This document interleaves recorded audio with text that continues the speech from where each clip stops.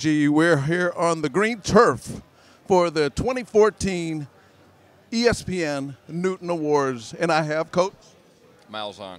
Gus Malzahn. Well, how are you today, Coach? Hey, doing great. And how does it feel to be nominated for a Newton Award? Well, anytime you're nominated for awards, there's some good things that happen, and uh, so we're just excited to be here and uh, looking forward to the night. You know, it was quite a performance by Auburn against Florida.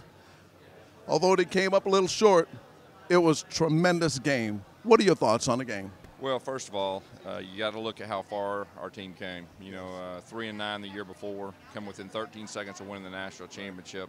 Just uh, hats off to our players, and, and they gave us a great foundation for the future. You know, there was a saying that said, from worst to first. What an apropos saying.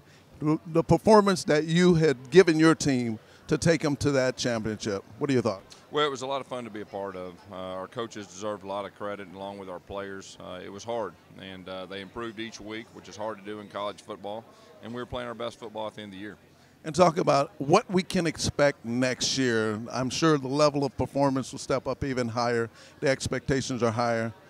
How elated were you just to say we made it, and you were honored with the uh, a lot of awards and yet another award? Well, the, the, great thing is the foundation's laid. Uh, the future for Auburn football is very bright, and, uh, and our players and coaches did a wonderful job getting us here.